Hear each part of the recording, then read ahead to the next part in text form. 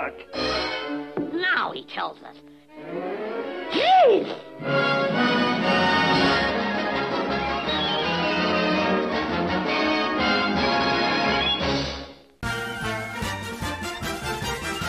Good morning, USA. I got a feeling that it's gonna be a wonderful day.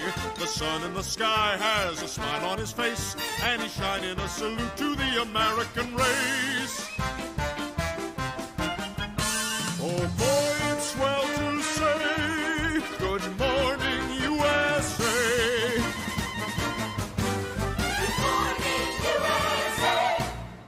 Just a little bit farther for your anniversary surprise. Is it my own vineyard? Oh, Francine, you knew. I never said anything because it sounded so